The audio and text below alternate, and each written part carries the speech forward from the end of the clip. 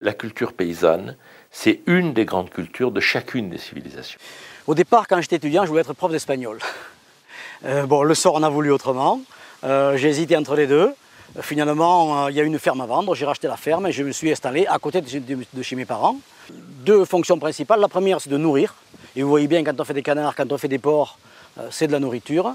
Et en même temps, on aménage l'espace. Quand vous voyez ces paysages, comment ils sont, comment ils sont façonnés par la main de l'homme, s'il n'y avait pas d'agriculture, les paysages ne seraient pas tels qu'ils sont. Mais pour moi, c'est un métier où on travaille avec du vivant.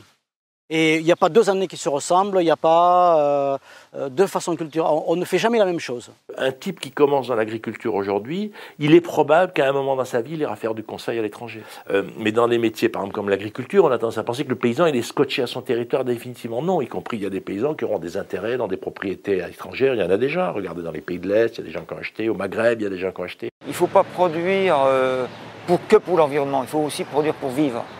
Euh, et je pense que le métier d'agriculteur euh, est fait aussi pour vivre et pour rendre euh, un produit sain et marchand, disons, aux consommateurs.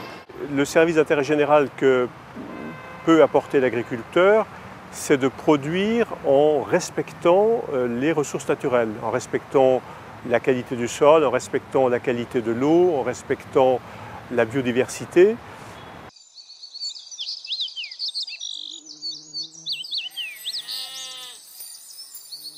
Au niveau de la PAC, moi je me sens à la fois français et européen. Qu'est-ce que ça veut dire? D'abord, en tant que Français et premier pays membre de la PAC, euh, mon pays et moi-même avons profité du développement dû à la PAC. Et je ne vois pas pourquoi d'autres pays qui sont rentrés après nous ne bénéficieraient pas du, de ce développement. Forcément, moi, je vais toucher moins d'argent de la PAC qu'il faudra que je partage avec un nombre plus grand. Si ça me permet de continuer à vivre, s'il y a une stabilisation des prix, et si j'ai mon revenu à peu près stabilisé, moi je suis prêt à ce que les autres se développent comme moi je me suis développé.